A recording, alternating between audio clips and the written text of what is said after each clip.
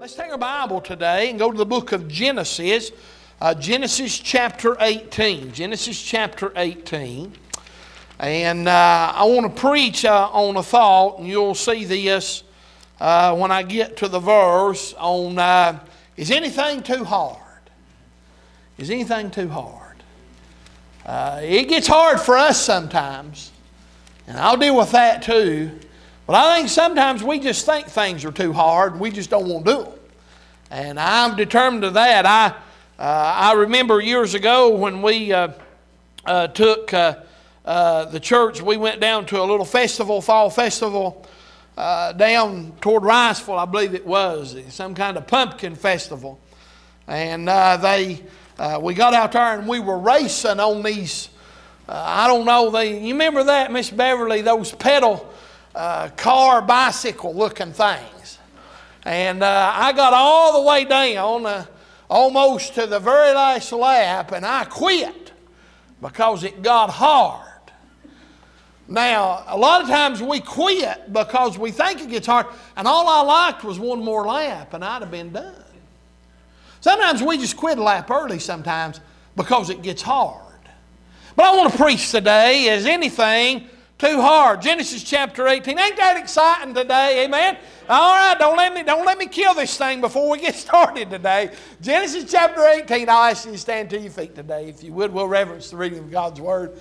Are you happy to be in God's house? Say amen. Amen. amen. I'm glad to see everybody here today. Let's get excited about serving the Lord. Genesis 18, look in verse 1. And the Lord appeared unto him in the plains of Mamre, talking about Abraham. Uh, and he sat in the tent door in the heat of the day.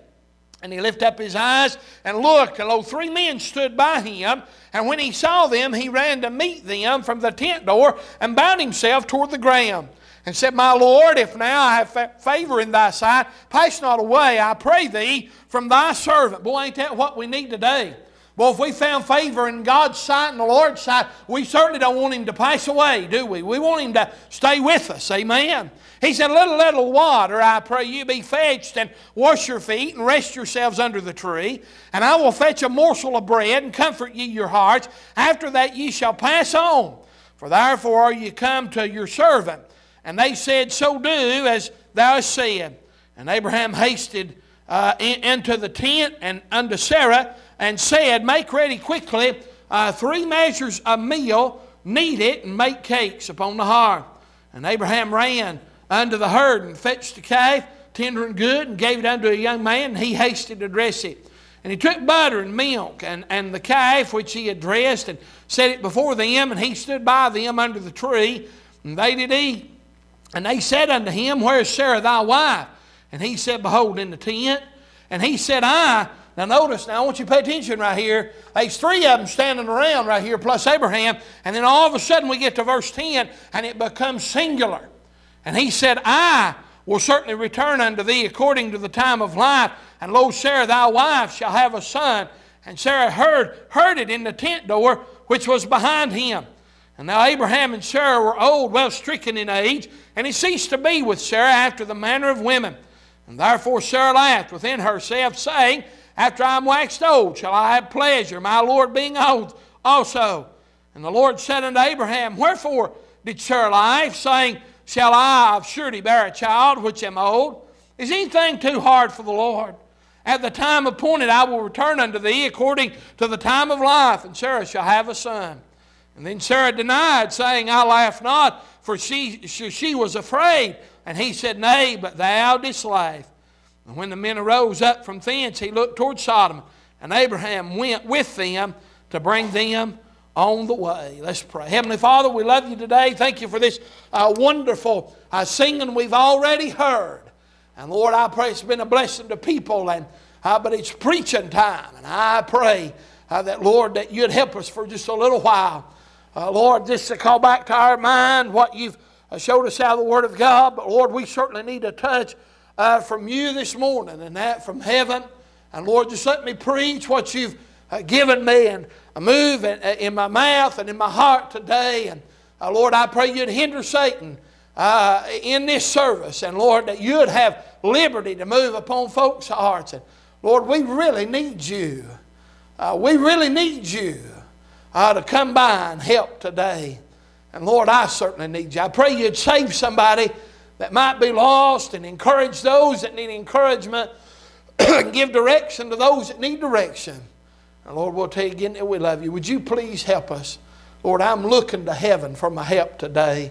And we thank you for all that you've done. Save that sinner's nearest tail for this in Jesus' name. Amen. Amen. You can be seated today. As we look back in Genesis chapter 17, you'll find that that's not the first time uh, that God had ever made that promise, and that to Abraham. If you go back into uh, verse chapter 17, uh, in verse 15, and God said unto Abraham, As for Sarai, uh, thy wife, thou shalt not call her name Sarai, but Sarah shall be her name. And I will bless her and give thee a son also of her. Yea, I will bless her, and she shall be a mother of nations, kings of people shall be of her. And then Abraham fell upon his face and laughed and said in his heart, Shall a child be born unto him that is a hundred years old? And shall Sarah that is ninety years old bear? So even at a time here, even Abraham uh, uh, struggled in that to believe uh, what God had to say. Uh, let me ask you something today. Have we ever struggled uh, uh, at the promises of God? I'll be honest with you, there's been times I've struggled at, at the promises of God. Uh, for Him to say, I will never leave thee nor forsake thee, or for Him to say that you can run unto Him and uh, He would be your refuge and hide you uh, uh and take care of you.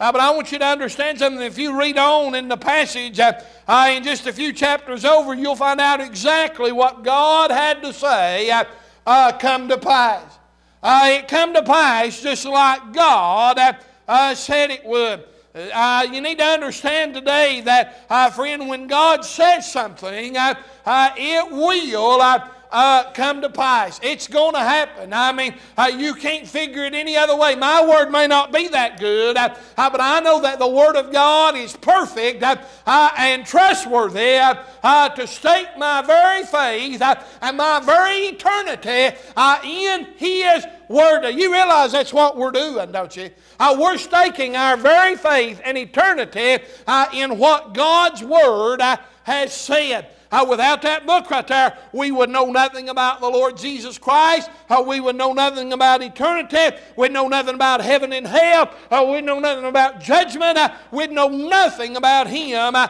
outside of this book today. And I'm glad we have a completed revelation and that of the Word of God. Uh, he told us in the book of Isaiah, He said, For my thoughts are not your thoughts, and neither are your ways my ways, said the Lord. For as the heavens are higher than the earth, so are my ways higher than your ways. My thoughts are not your thoughts. Our thinking does not always line up with God's way of doing things. Let me ask you something today. How many times have we needed to see God move and wanted God to move and knew that this would be the best thing and God moved, but boy, it sure didn't. He did, sure didn't move like we thought He was going to move. You ever had that happen? I seen move like that. Listen, Psalm chapter 115 said, But our God is in the heavens. He hath done whatsoever He's pleased. You know, God will do it however He wants to do it, when He wants to do it, and how. He'll do it today, but He is able, our God is able to do anything as He chooses today. Now, listen, the word hard, now we're talking about hard. What did the Bible say over in verse 14 in the text verse? And here, here Abraham, or, or actually Sarah, excuse me, Sarah, she said, uh, and the Lord said unto Abraham, Wherefore did Sarah lie, saying, Shall I of a surety bear a child which am old. And so the Lord just asked the question is, is, is anything too hard for the Lord? No. There's nothing too hard for the Lord. You know what the word hard means? Uh, it, it, means something that is uh, firm or, or, solid. We understand that. This is, this is hard right here. This, this pulpit is hard, but it also means uh, uh not yielding to pressure. Uh, it means difficult are not easily done. And that's what that verse is talking about right there. When he talks about, is there anything too hard for the Lord? Is there anything that is too difficult that he can't do? It means painful or distressing or, uh, or laborious or fatiguing. Or uh, when we talk about somebody that's hard, they're unfeeling or, or, or not moved with pity or, or not susceptible to kindness or mercy. And I have a hard heart, is what that's talking about. But here it talks about is anything too hard for the Lord, too difficult, or not? You know, I think everything's easy for the Lord. Yeah, I do. I really believe that today. He's the one that created us. He's the one that created this world. I, I listen, and, and, and the short answer and the long answer too, how with the Lord, is there anything too hard? No. The answer is no. So, number one this morning, let's, let's just look at this. Uh, uh, is, is, is, it, is, is it hard uh, to save a sinner? I think the Lord Jesus faced some hard things. I think he, listen, had it not been for him going to Calvary, uh, there's no way that me and you could have got saved today. I mean, what did the Apostle Paul say in 1 Timothy chapter 1? This is a faithful saying, worthy of all acceptation, that Christ Jesus came to the world to save sinners, of whom I'm chief. You know, He can save anybody. He'll save folk that mean you don't want Him to save. He'll save folk that we don't think is worthy of salvation. He'll save them. He can save him. He'll save the drunk. At least if you go back and you're looking at Scripture, you'll find out in Mark chapter 5, you'll find a man by the name of Legion over there that was nothing more than full of the devil. Uh, running through the tombs, he was cutting himself, uh, screaming and hollering day and night. They tried to bind him with chains. Uh, they couldn't tame him. Uh, uh, but yeah, when he came to the Lord, what happened? He got him clothed, seated, and clothed, and in his right mind. Something that they had tried and tried to do prior to that, and Jesus done it just like that.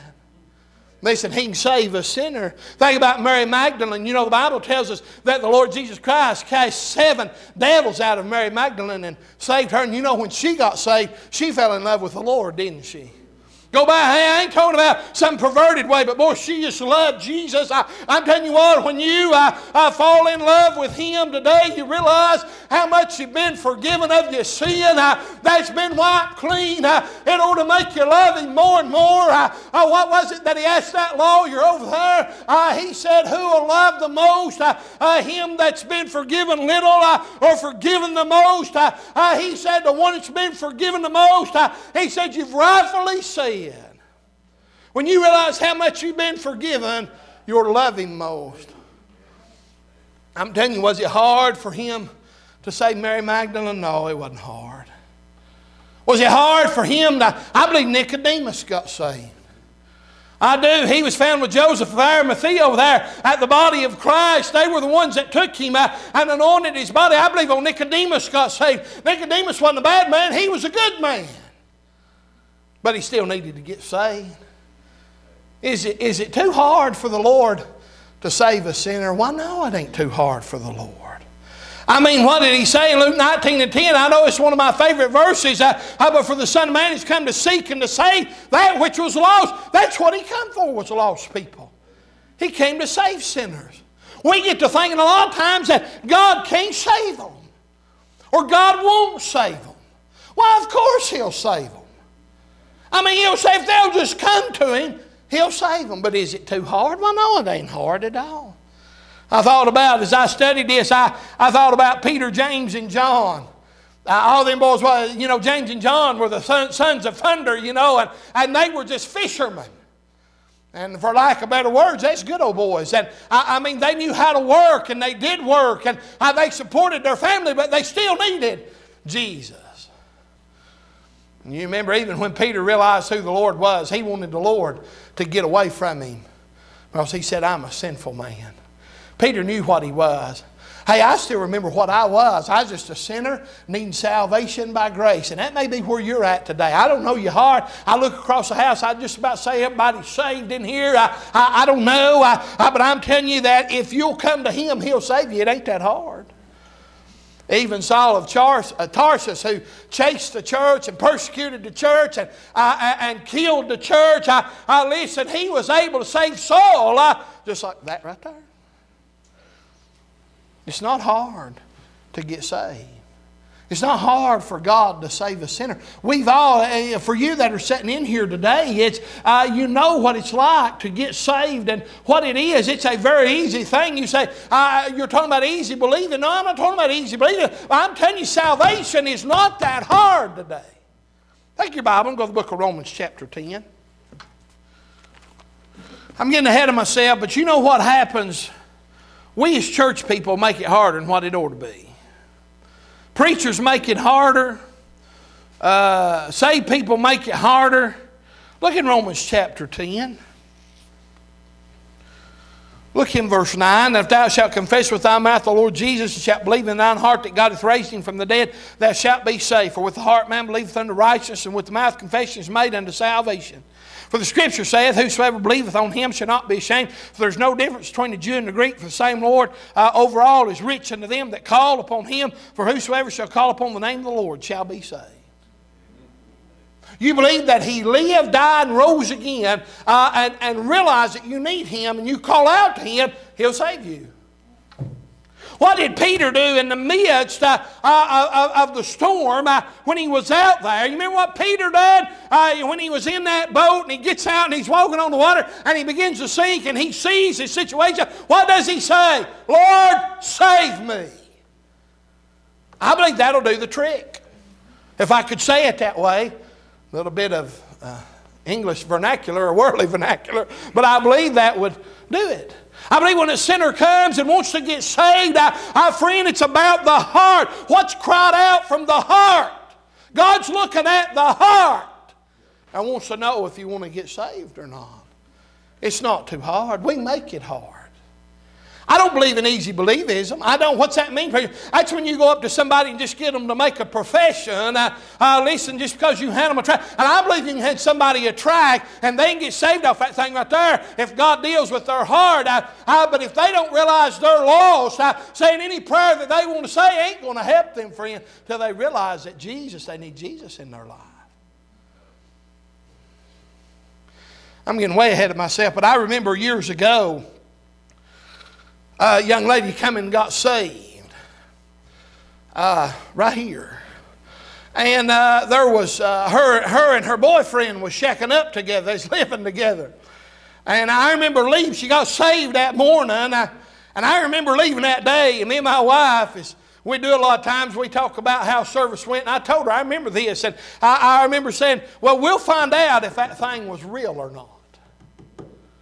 We'll find out because I'm going to tell you right now if that's real, then she's not going to go back to doing what she was doing. I come back to church that night and I asked around and asked where she was. I thought, well, if she's got saved, she ought to be back in church.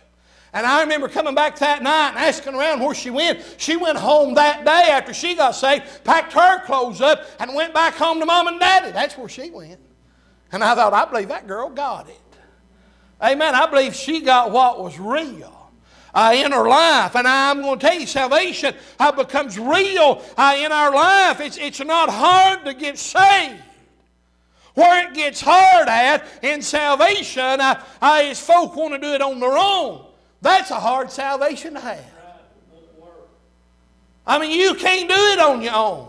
I mean, Brother Jeff talked about it in Sunday school last week, and this there is a way which seemeth right to a man, but the end thereof are the ways of death. Religion will kill you, man. It'll work you to death, leave you empty the whole time, and won't even get you into heaven at the end of it all. Religion will kill you. I'm going to tell you, it gets hard. You know, religion is uh, laborious, religion is fatiguing. And I know that in service to the Lord we get tired, but that's not what I'm talking about. I'm trying to talk, I, am preaching on uh, is there anything too hard? It's not too hard to get saved, but when folk are trying to work their way into heaven uh, and always trying to do good, good, good, uh, uh, to, to outweigh the bad, it'll never work, friend.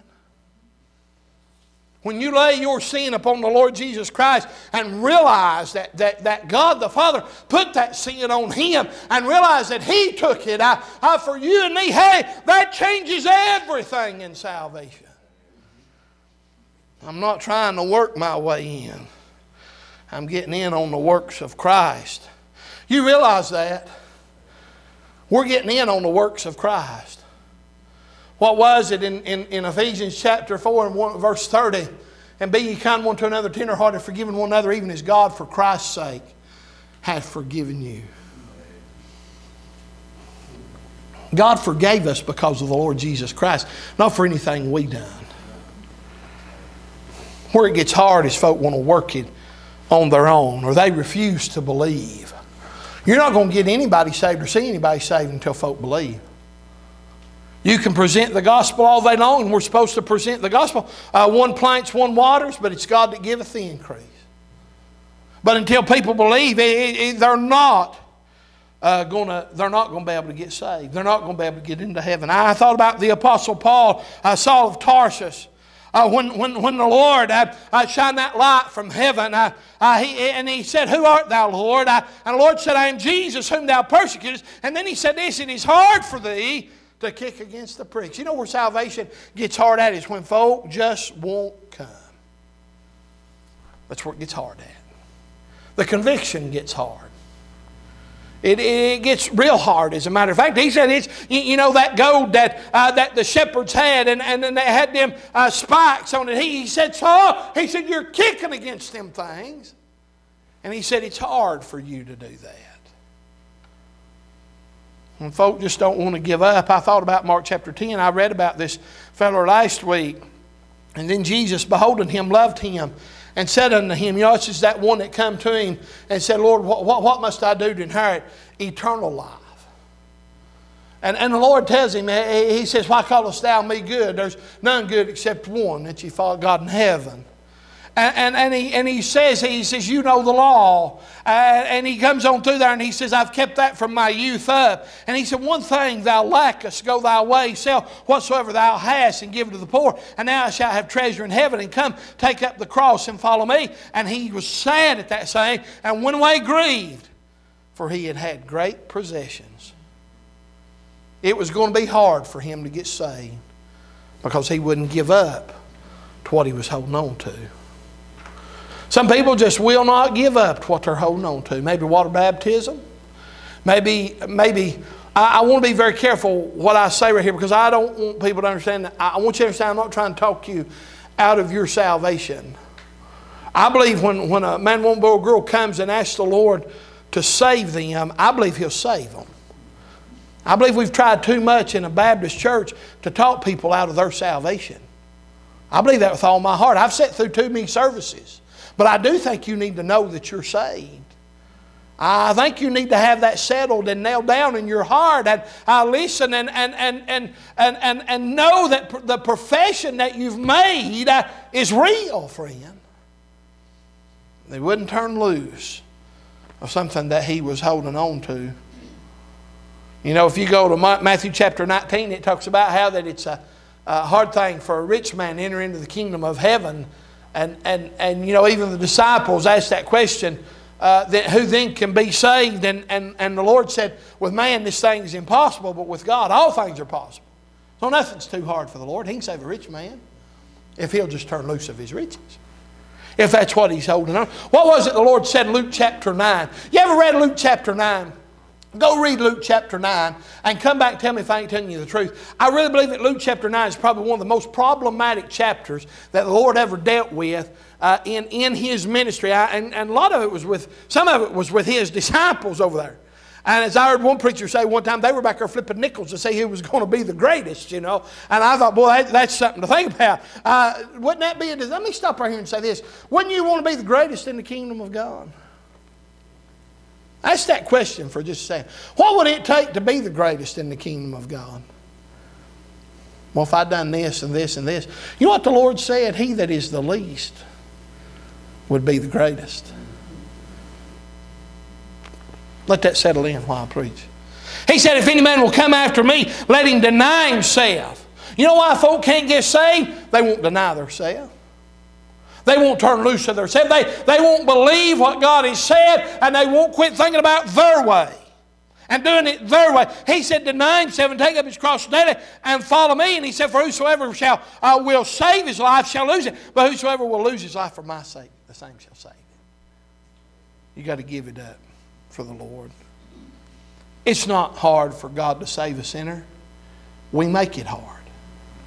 As church people, we make it hard for folk to get saved sometimes. We put so much on people that, uh, man, they, they say, I can't live that life. I can't do that. And let me say this outside of the Lord Jesus Christ, we can't live that life. You can't live as a Christian should without His help. But we've put so much on people over the years uh, uh, to tell them they got to do this and this and this and this. I believe that, that there, there must be, according to the Word of God, there must be a work of repentance uh, in the heart. I don't believe you can get saved without repentance. I mean, you can go through and look at Scripture, but, but, but in my mind, and, and, and, and we can argue this point later, uh, in my, when you get saved and you come by faith and accept Christ, you're repenting of your sins and who you are and what you are right then.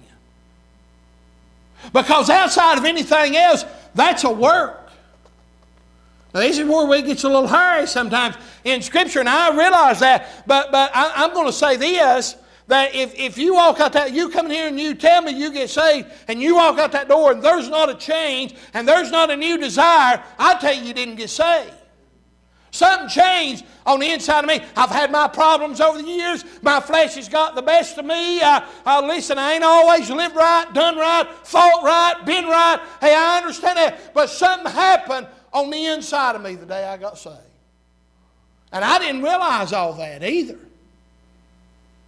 Looking back, some things changed. Man, I fell in love with church. I did. I, I mean, I can't understand that. Fell in love with the Lord and fell in love with church. I did. Something happened. I, I, can't, I can't explain all that. Except it was the Lord. But we got to turn loose of us. Got to turn loose of us.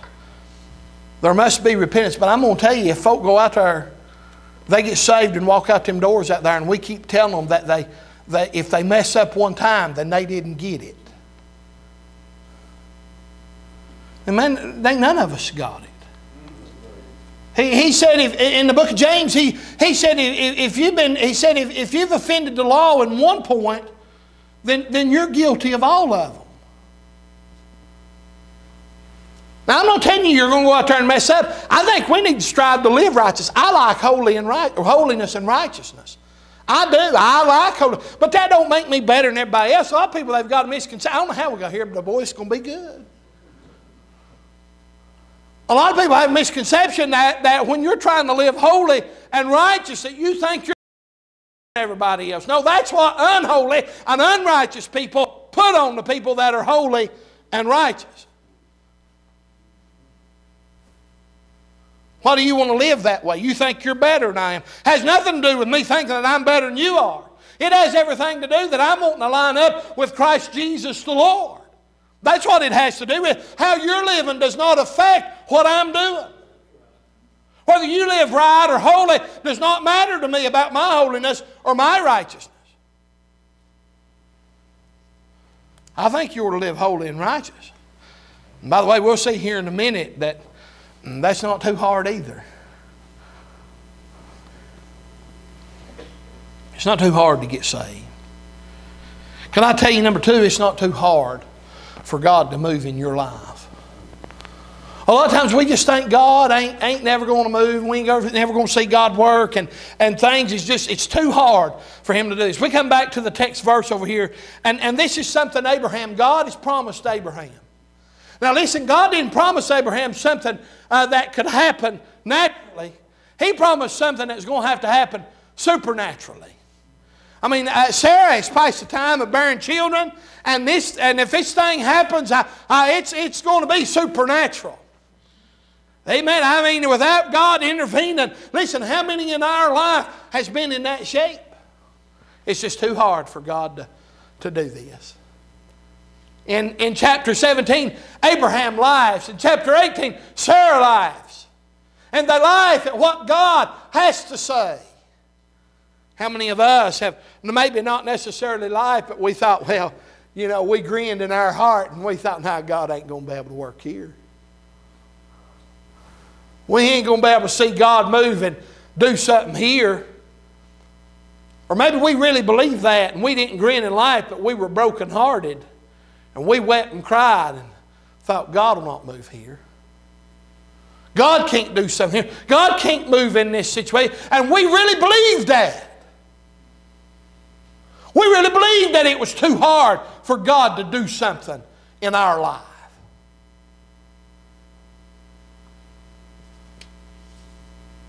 When's the last time that you prayed, but you really just didn't pray, pray in faith? When you prayed, you really thought, well, I'm going to pray, but I just don't think there's much reason to ask the Lord to do this. It's just going to be too hard. I can't see a way for Him to work it out. When we look through our physical eyes and through our fleshly eyes, it's always going to be too hard for God to work it out. We don't know what God can do. We don't know how God affects hearts. I know a preacher one time, his daughters were at odds with each other. And he got to praying, Lord, do whatever it takes to get my daughters back together on a reconciliation basis. Put them back together. Let me tell you what God done? God let him have a stroke. And in the process of him having a stroke, God put them girls back together. He said, Well, boy, I sure ain't going to be praying for God to do whatever it takes. I might have a stroke. See, it gets hard in our mind how. Don't you think that's hard, preacher, for God to do that? His prayer was, God, do whatever it takes.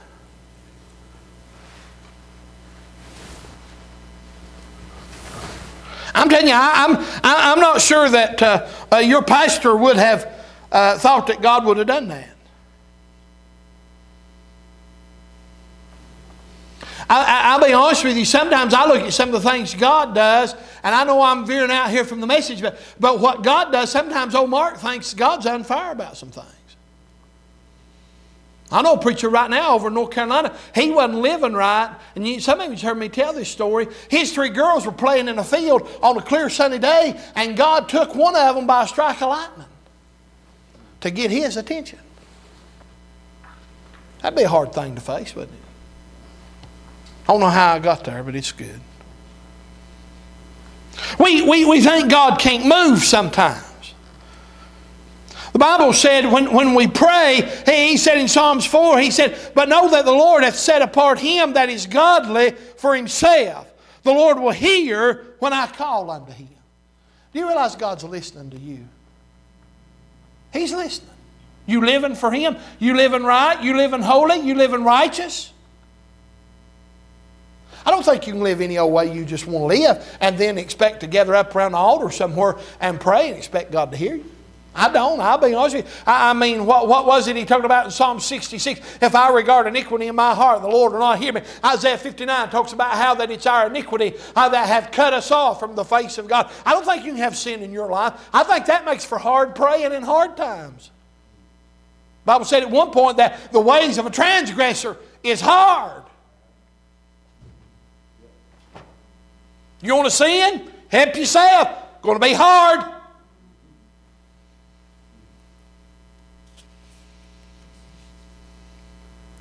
Psalms 34 said, The righteous cry, and the Lord heareth, and delivereth them out of all their troubles. Have you ever found it uh, hard to pray?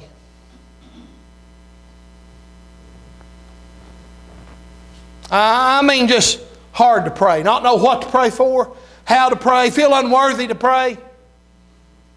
Uh, know what you are, and say, Lord, how is it that you can even hear me, knowing what I am. I mean, sometimes, listen, there, there's some days that, that, that old Mark knows that he's righteous and in the Lord Jesus Christ, and I'm trying my best to serve. But then there's some days the devil reminds me of where I come from, what I was. I, I, I thank God I ain't what I was. I, I am different now, but I still remember that I'm a sinner. And I think, boy, the God in heaven wants to listen to me. Who am I to approach the throne of grace? Right in Hebrews said us, let us come boldly under the throne of grace, that we may find mercy and grace to help in a time of need. He just didn't say approach it. He said approach it boldly. That means coming in with your head held up. That means coming, hey, I'm telling you, you can come and talk to the Lord. I know it gets hard to pray. I know that we have trouble. I know that we have problems. I, listen, the Bible said in Romans 8, likewise the Spirit also helpeth our infirmities, for we don't know what we should pray as we ought, but the Spirit itself maketh intercession for us with groanings which cannot be uttered. When you don't know how to pray, the Holy Spirit prays. I believe that with all my heart. I believe that that one that resides on the inside, he begins to talk to heaven for you. And he says, look, he don't know, she don't know what to pray for. She don't know how to pray. He don't know how to pray. But let me tell you, this is what they need. Ain't you glad of that?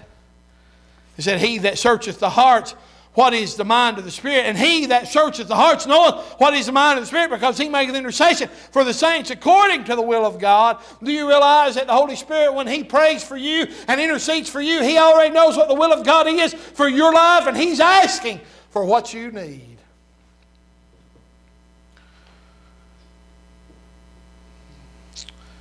It's not hard for God to move in your life when we'll let Him move when we'll ask Him to move, when we'll cast on what is it, 1 Peter 5 and 7, cast all your care on Him, for He careth for you instead of us holding on to it and us trying to handle it and us trying to take care of it and us holding the burden uh, and us holding the fear uh, uh, and us holding all this and that and this and that. Hey, as long as we've got it, God can't handle it.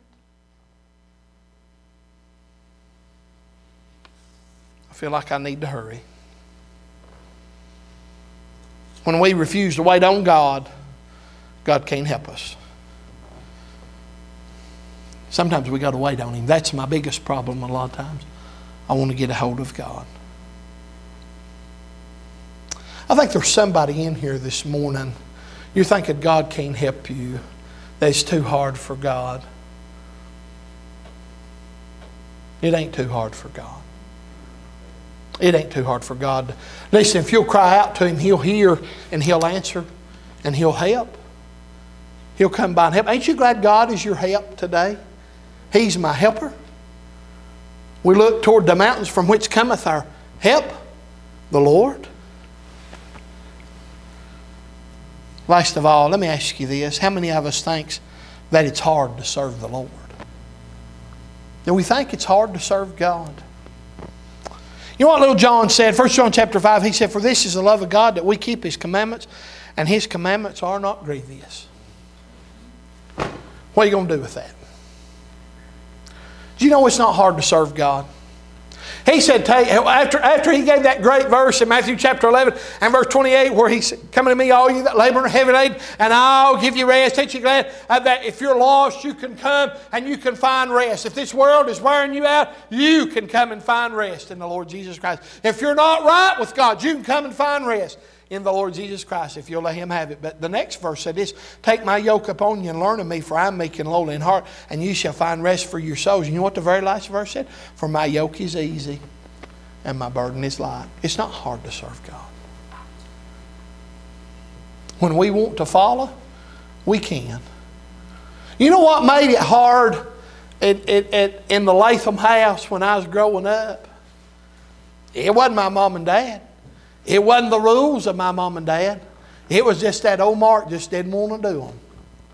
I had something else to do, or wanted to do something else, or wanted to go my own way, or just wanted to be lazy. My mother used to say, she'd say, I tell you to tie your shoes, put your shoes on in time. And she said, you'd sit there. And she said, I'd say it a second time. And you'd just sit there. And she said, I'd get up to whoop you on the third time. And she said, she said, why are you looking at Gunner? she said, you'd get up. She said, I'd get up the third time. Jennifer had to crane her neck all the way around look at Gunner, you know. And uh, she said, I'd get up the third time. Uh, and she said, You'd grab your shoes up and say, Well, I put them on, Mama. That's what I'd say. You know, a lot of times we wait until the Lord really, really has to get our attention. And then we tell Him, Well, we're doing it, Lord. Serving Him is not hard.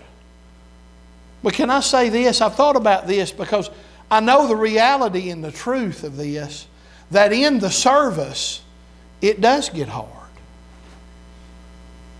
Well, what do you mean? What did he say in the book of 2 Timothy, chapter 2? He said, Thou, thou, thou therefore endure hardness as a good soldier of Jesus Christ. You know, most men that are in the military, they want to be in the military today. We ain't drafting nobody. And I know the judge sends a few along the way, but most people that are there wants to be there. They have chose that life. Do you realize being a soldier is hard? Some of you all have served. You know it's hard. Especially when you first get there. They got you marching all the time. They got you serving all the time. It's rigorous sometimes. Hey, I'm going to tell you, sometimes the battle gets hard because we do have an adversary, uh, and it's just tough sometimes. Ain't your adversary mean? My adversary's mean. He'll drag stuff. I, have been thinking about this. He'll drag stuff up on you that happened a long time ago, and he'll worry you to death over that stuff. I'm not, I'm not talking about stuff that ain't real. I'm talking about stuff that's real. Something maybe you done here. that, I mean, that he can accuse you with. But it's under the blood. If you got saved, it's under, well, I've done it since I, it's under the blood. You realize you got forgiven of all your sins, past, present, and future, when you got saved. Now, I realize you got to deal with those things. I understand that. You got to deal with your sin. You got to deal with your relationship with Christ Jesus the Lord. But I'm talking about being forgiven, the slate wiped clean. I'm still just as saved the day that I was when I got saved. Now, boy, what a great day it was when I learned that. That Jesus forgave me of all sin.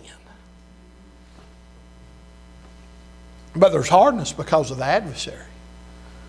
He's hard to deal with sometimes. But greater is He that's within you than He that's in the world. He can help you overcome that hardness. You're of God, little children, have overcome them because greater is He that's within you than He that's in the world.